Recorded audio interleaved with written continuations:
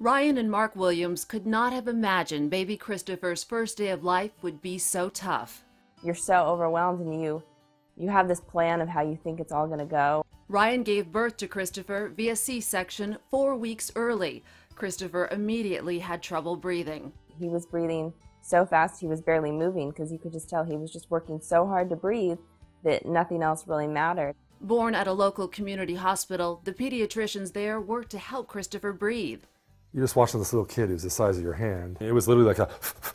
You're faced with all these decisions that you're asked to make on the spot, and you don't really have any other options because all you want to make sure is that the, you know your baby's okay. It was scary. As hours passed and Christopher continued to struggle breathing, it became clear to pediatricians Christopher needed a higher level of expertise and care.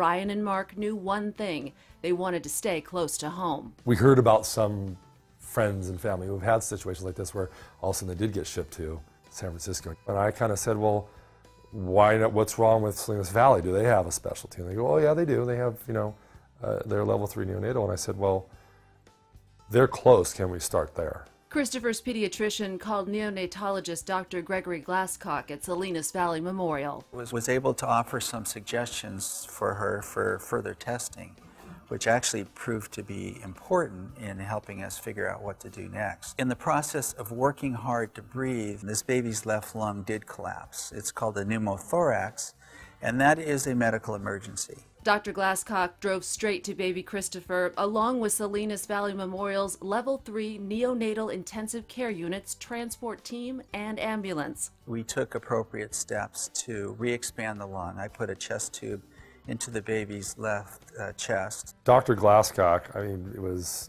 perfect, I would say. He just had a presence that made everybody relax, and it was really comforting. It's vital. It's vital to I think, to the optimal care in Monterey County to have a readily accessible neonatologist, neonatal team to be able to be on call and to arrive quickly.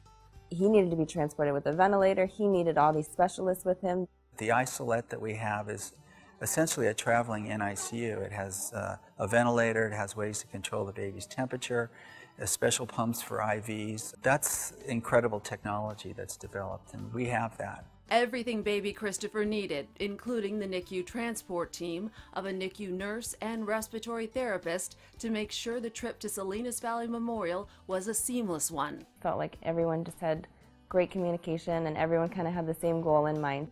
Oh, it, it is a huge factor in what saved his life. I think everyone came away from that experience at both hospitals feeling like this was really excellent community synchronization of efforts. So we were able to do a very timely intervention. Uh, the baby responded very favorably, and it was very gratifying. My son's here today because the right medicine worked for the for, at the right time with the right people, and I think it's what medicine's about. So I, I appreciate their all their efforts and their help. Now he's just normal, and he cries and screams and has a great set of lungs on him. He's good. He's a healthy, happy little baby. He saved his life, so we are forever thankful. There's nothing more than a heartfelt thank you.